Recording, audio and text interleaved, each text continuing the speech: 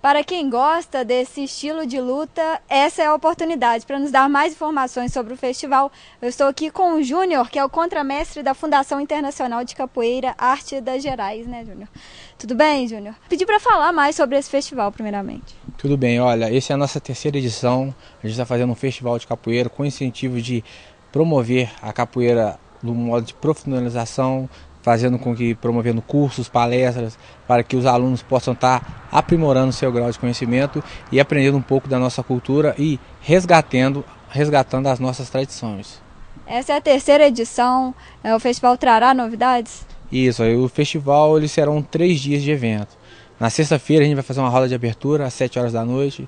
No sábado, às 10 horas da manhã, em frente ao Coreto, vai ter uma roda de apresentação com os convidados. E às 2 horas da tarde, no CETAM, vai estar acontecendo o festival, curso, as palestras com o Mestre Museu de Belo Horizonte.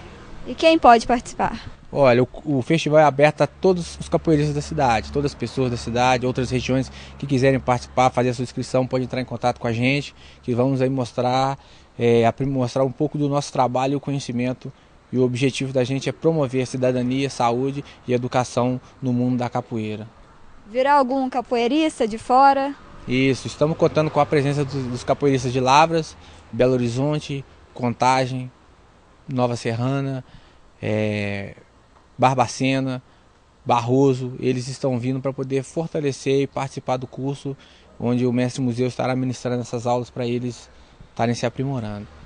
Então, por, por fim, convida aí a população, né? Quem quiser participar e prestigiar o trabalho de vocês. Isso, eu queria convidar toda a população, todos que praticam capoeira, até aqueles mesmos que não praticam, que possam estar indo lá para poder conhecer ver que a capoeira é uma luta genuinamente brasileira, é um patrimônio cultural imaterial brasileiro e precisa um pouco mais da valorização de todas as pessoas, que ela é, um, ela é o jeitinho brasileiro. Então a capoeira é arte, ela é dança, ela é luta, ela é folclore, ela é cultura, ela é muito mais do que isso. A capoeira é um universo de possibilidades. Obrigada, Júnior.